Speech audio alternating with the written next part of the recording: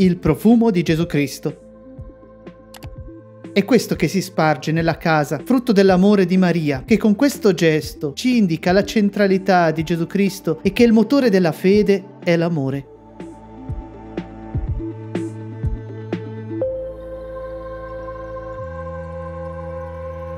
Dal Vangelo secondo Giovanni.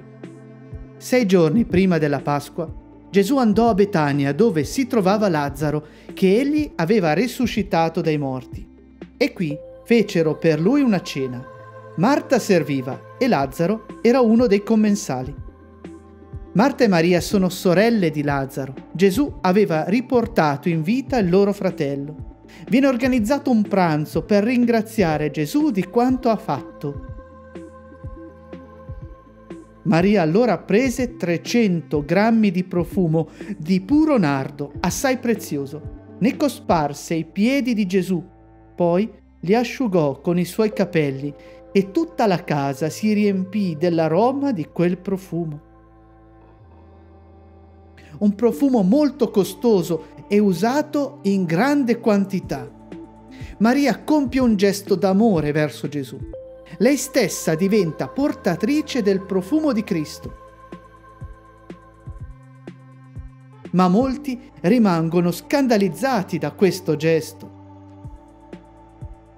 Allora Giuda Iscariota, uno dei suoi discepoli, che stava per tradirlo, disse, perché non si è venduto questo profumo per 300 denari e non si sono dati ai poveri? La critica di Giuda può essere persino condivisibile. È stato uno spreco? È lecito servire i poveri ma dimenticarsi di Cristo?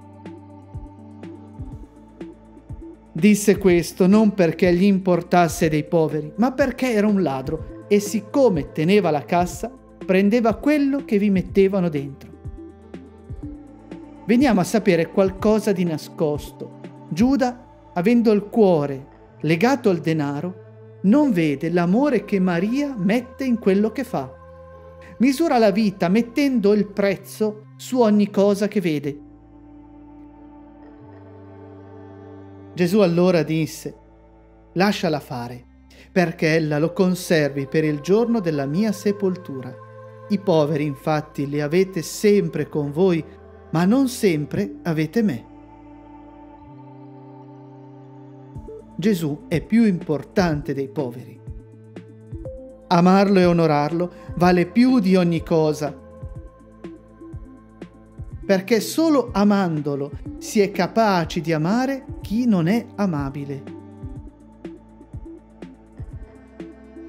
Intanto una grande folla di giudei venne a sapere che egli si trovava là e accorse, non solo per Gesù, ma anche per vedere Lazzaro che egli aveva risuscitato dai morti.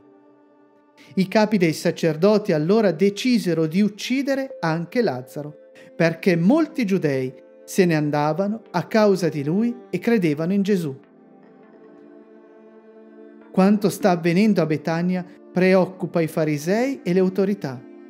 In molti se ne vanno, ma invece che fare autocritica si pensa a eliminare l'alternativa.